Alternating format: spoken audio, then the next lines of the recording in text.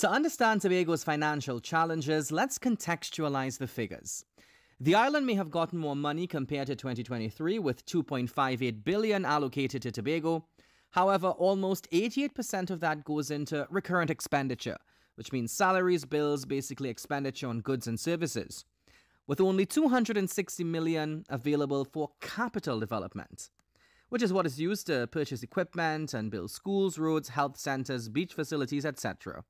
And Augustine, using visual aid today, wanted Tobagonians to understand how thinly that is spread out. And he used the Division of Infrastructure, Quarries and Urban Development, which received the largest allocation, as the example due to the public demand from it. Most of the demands we get at the town hall meetings, when we check the records, have been on the Division of Infrastructure. People are calling for retaining walls and drains and the roads to be paved but he wanted those people to understand the paltry sums they have to get these and many other things done. In theory, on our accounts, the Division of Infrastructure will be left with essentially $6.1 million, thereabout, for development works.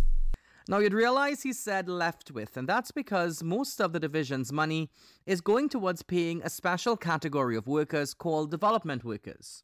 The wages for development workers um, roughly is about 1.54 million every fortnight.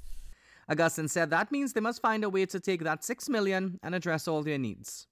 For all of those and every other imaginable development work you want from infrastructure, what remains after we pay the development workers will be around roughly around 6.1 million dollars.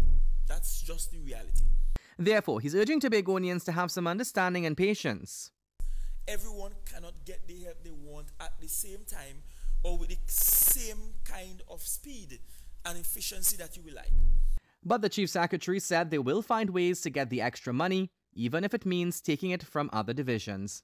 Because by the hook or the crook, we have to get the work done. Akash Samaroo, CNC3 News.